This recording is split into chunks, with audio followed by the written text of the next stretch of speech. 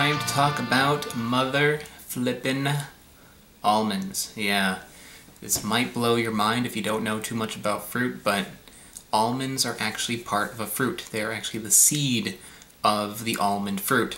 And if you, uh, I'm sure you've all had this before, and you've seen this before, and uh, you probably have seen this as well. This is the almond with the shell, which you can pretty easily find at most markets. But if you take a close look at this, you may notice it looks kind of familiar. It looks a little bit like a, uh, a peach pit or an apricot pit. That's because this is actually the, the pit or the stone of the almond fruit. Almonds are a little bit different though because like when almonds get mature, they actually split open and this pops out. It's not like an apricot or a peach that when it matures you can eat the flesh. This is not really um, a fruit that when it's mature there is any like flesh that you can really eat. There's not much there, but you can actually eat it underripe. This is an unripe almond fruit. It was picked green, and if you were to let this mature, it would get like a little bit bigger, and then the uh, the fruit would actually split at the seam here, exposing uh, the stone inside. But this is picked early, and you can actually eat this just as it is with the uh, with the the hull, the outer the outer hull, and everything. If it matures a little bit more, then you know it turns into this sort of um, this hard material, and you won't be able to want to eat through this. But if you get it early, then it's fine. If you look on the outside, you see it's actually quite fuzzy. It's just like how an apricot is. If anything, it's maybe a little bit fuzzier. And people actually can eat this just as it is. You can eat it with the fuzzy outside, the stone, the pit, everything. Like right now, it's actually soft. But if you give it a little bit more time, then it's going to get, you know, one of these. It's going to get hard on the inside.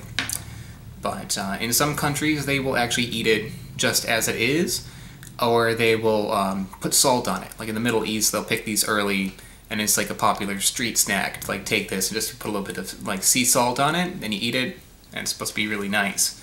But uh, yeah, I'm kind of excited to try this. I actually got this here in New York City at a um, at a gourmet market here, but uh, it's really hard to find these, especially here in the U.S. Mostly because green almonds they don't last very long. So once you pick them, you only have a few days.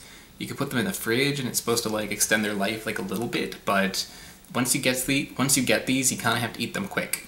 All right, so let me uh, give it a try. Ah, it's fuzzy.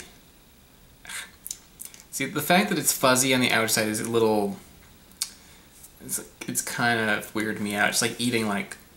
Uh, it's like eating like a piece of cloth. I'm gonna try not to like put my... I'm just gonna use my teeth. Okay. Once you bite into it, you don't notice it as much. And if you look on the inside, see like there's all the, the outer fruit right here, and the the almond on the inside, like what we would eat normally with like a dried almond, is actually like wet. It's like jelly-like. Look at that. You actually like squeeze the gel out. That is that is the immature almond uh, seed. This isn't bad. It's actually really nice. It, um... Hmm. It's got, like, a strong green flavor, as you would imagine. Um, it reminds me a lot like eating, like, a green bean. I don't really like green beans, but it's got, like, um, something, like, similar to that.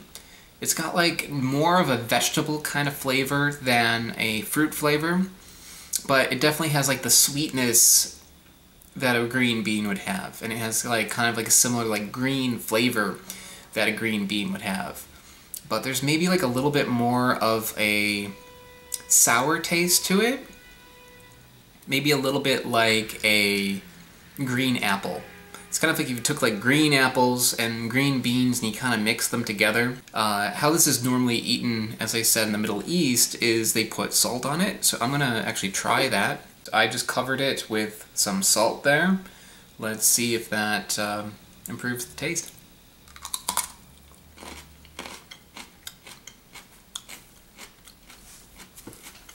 Hmm. It's nice. This would be... I'm not sure if I prefer it with or without the salt.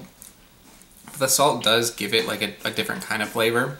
This is the sort of fruit that if you were to like treat it the way that people treat unripe fruit in Southeast Asia, like put chili powder or plum powder on it, use like condiments with it, uh, it would work really well with that. The texture is pretty nice. It's like crunchy. And the inside is very soft with the jelly-like um, nut inside. So I like it with the salt. Um, but honestly, I think it's not really an improvement to it.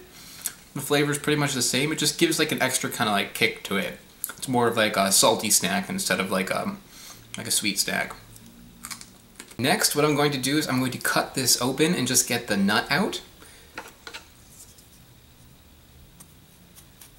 And uh, this is uh, how a lot of people will actually eat these. They won't eat the green on the outside. They'll just trim, uh, or they'll cut out the, uh, the seed and just eat the seed in its unripe form.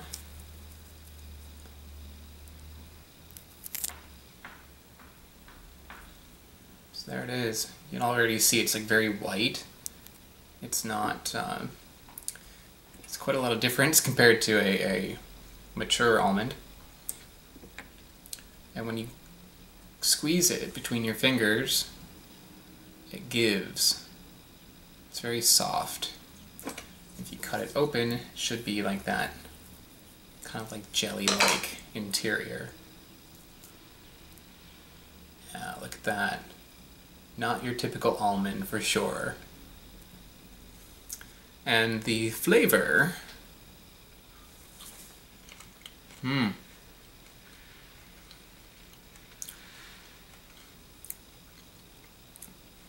There's not much flavor to it, but the immediate thing that's noticeable with it is the texture. It's like very soft, and when you bite into it, it just kind of explodes with um, that like liquid on the inside, kind of like how like a it's like a little bit like eating like a pomegranate seed or like maybe like a grape or something. I wouldn't pick this up if you want like a very strong tasting fruit. I can see why people put salt on it just to like make that flavor pop a little bit more. But there's just something nice about it. So all in all, I like these. These are really good. I would say um, if you like things like edamame, pick these up because it kind of has like a similar feel to that. I would get these, I would put like some salt and oil on it maybe, and just eat them, you know, as like an appetizer. I think that would be like really nice. Uh, they're refreshing, they've got like a nice texture to it, like a nice crunch and a nice like little pop in the middle. Uh, yeah, altogether, very good. I'm definitely gonna pick these up again. Hey guys, don't click out on the window just yet, okay? Listen to me for one second. I just want to take a quick moment and tell you about my Patreon page that I just started.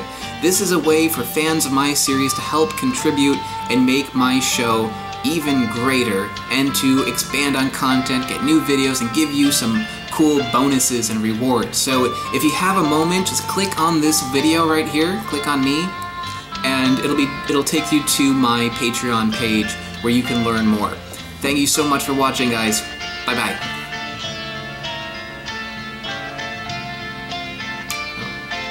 I, I, made this video too long. Um, yeah, you can, if you don't want to go to the Patreon page, it's okay. Um, you can also click on one of these fruit videos.